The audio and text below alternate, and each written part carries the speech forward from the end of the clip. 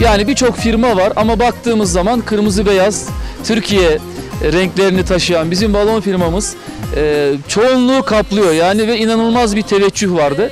Neler gördünüz yani ben de ilk defa bindim ama. Ya zaten e, Kapadokya Türkiye'nin göz bebeği ama yukarıdan görmek daha bir başka. Evet. Yani harika.